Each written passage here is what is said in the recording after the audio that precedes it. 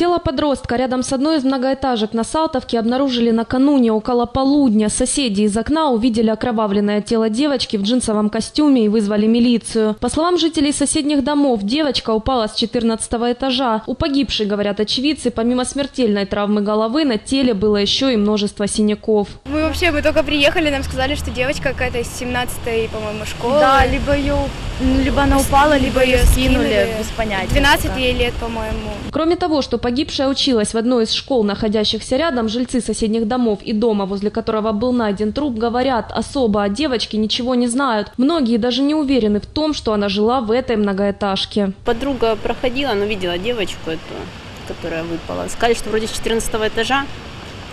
Вот. Не могут найти, кто вообще она такая, кто она, ни имени, ничего. То есть просто сказали, что позвонили и сказали, что с 14 этажа упала. Ну или упала, или выбросили, тоже непонятно, потому что она в снегах была.